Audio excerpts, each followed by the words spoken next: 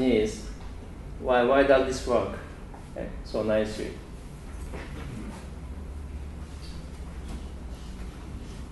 So the answer just really comes from that table, okay, which we just established. Because uh, if you look at the, for example, uh,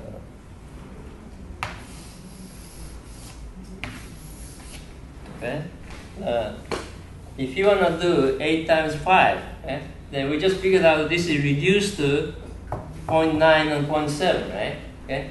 And in fact, uh, this one is just labeled in a very weird way, okay? not equally spaced. 8, 8 is corresponding to not exactly the, the level 9 here, right? So you see that they're exactly at the same location. And then the 5, 5 corresponds to the level 7 here, okay? That's I already pre-labeled, you know, based on that table. So that's why if I just label the number like this based on this table, then uh, I can reduce the multiplication into the addition. So I just really transfer this one into this, then I just back to that one, to get the 40. Then similar, similar thing for like 2 times 8. Remember the 2? Okay? 2 corresponds to 0.3, so that's exactly where okay? I just labeled 2 for the level 3 okay? because of the 0.3. And then the 8 is just similar here. And uh, well, so you might think this is just you know, not so useful because uh, you already know the answer, right? I mean, how to how to multiply just uh, one digit. But uh, um, actually, 500 years ago, you know, one guy just spent 20 years to just uh, figure out this table was up to the seven digit. Okay? So not only the one digit. So it took 20 years okay, by one person. And then uh, his work was much appreciated because uh, once you get that kind of table, now you don't have to redo this kind of the calculation. Okay? You can just use this table to, for the reduction. So um, I just brought the, the three-digit table, okay? because uh, the seven-digit table, so you need uh, the shelf of the library, you know, the encyclopedias. Okay? So three digits only you need two pages. Then uh, you, know, you can easily calculate, right? Like uh, how many how many volume, volume of books you need. Like a three digit. Only two pages. Okay? So then uh, the four digit you need it's still still just uh, not much. 20 pages. It's a small book. Then the five digit you need a you need a book now, 200 pages book. Then the six digit, you need 2,000 pages book. So maybe you need a couple of books, right? and the seven digit, you need 20,000 pages. So you need to read the volume of the encyclopedia, right? And that one is really published in the 500 years ago. Okay? And people use this. Okay? So, so let's just do the. Okay.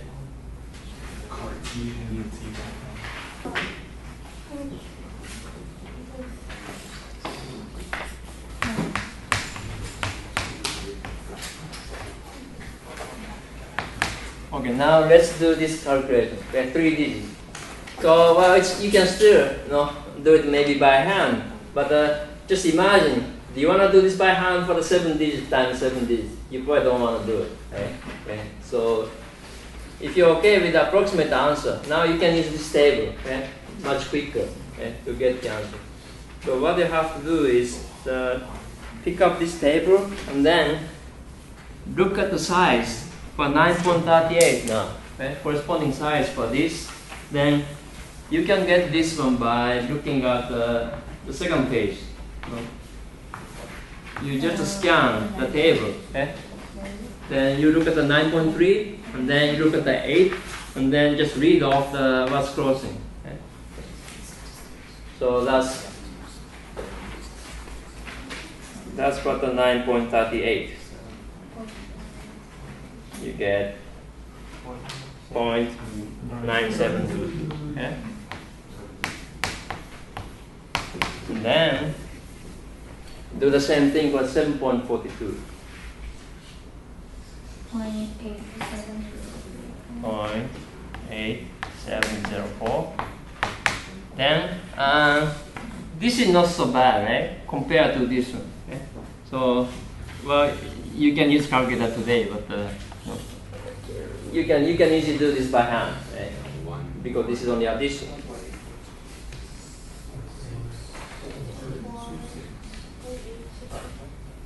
One point.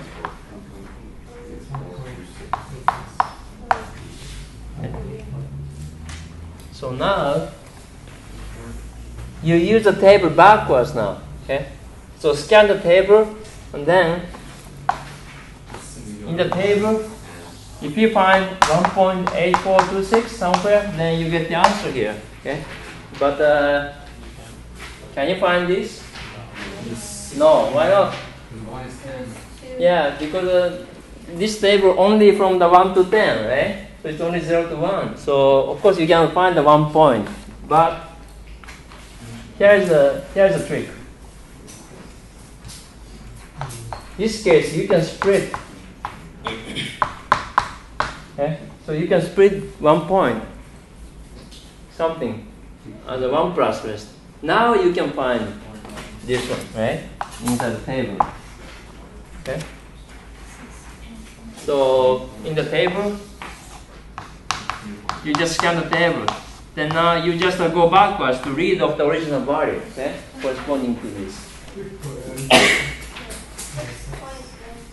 6.96, right? And then, remember, this corresponds to 10, right? Then remember this is times. So this way, well, this one you don't need a calculator, okay? Times 10, so you just uh, move the decimal point to the one. Then you get 69.6. Okay? So this is how you get the approximate answer for okay? original calculation. And then, the, well, if you have a calculator, let's just cheat. But what's the actual value of that? What's the what's the exact value of this?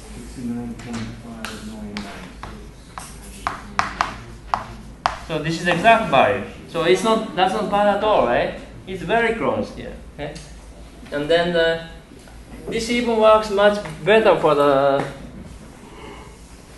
division. No?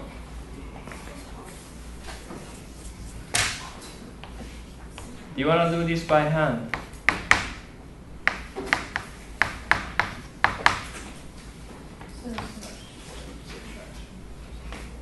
Yes. If you remember how you got the, the size for the point five by by doing this. Remember? Five is five is ten over two. 10 divided by 2, right? And then you got this x to be 1 minus 0.3. In other words, you just you just reverse this. Now you, you can easily understand that the division is now reduced to the subtraction. So that's why to do this now okay I, I think now you don't want to do this by hand right? The division is much harder but uh, this is not bad at all you can just do it by hand very easily.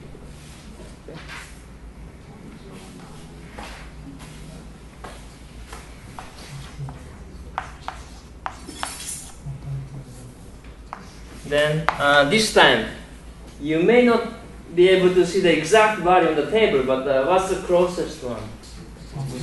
1.26 or 27, right? Okay. So probably you can expect the answer to be 1.26 something. Okay. Then again, again let's cheat. Let's cheat using your your nice calculator. Okay? in, the, in the 21st century. 1.26415094. Exact answer is 1.26 or something. So it's not bad at all, right? Okay. So that's how you get it. And uh, so now the question is, you probably realize, right? Uh, what I'm talking about here.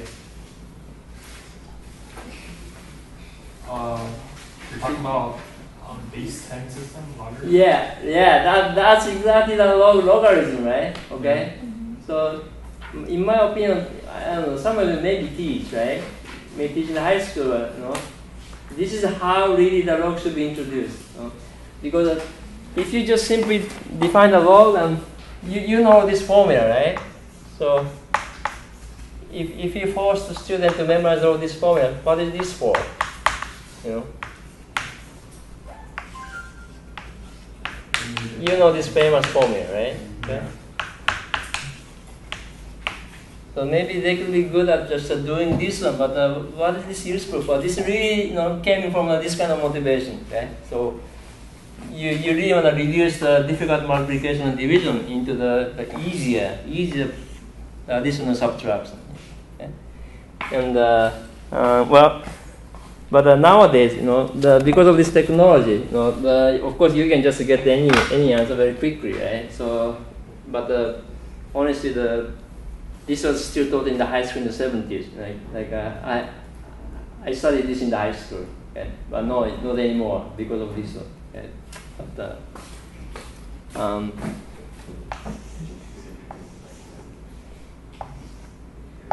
nowadays, you know, you can get a nice value, log 2, just by putting this, or uh, even like a three digit.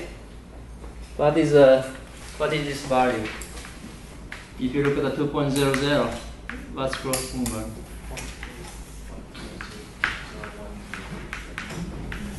Remember what I got? I got a minute ago just a point only 3, right? Why, why you have this extra thing? But where, where this, this one zero comes from? Remember what, what I did? I raised 2 10 times and I got what? 24, right? Then what did, what did, I, did I do this, this jump? I drop, right? That's exactly I drop this 1 0, okay? If I don't drop this, and if I work for the, another 20 years, then I can come up with this one. Okay? So.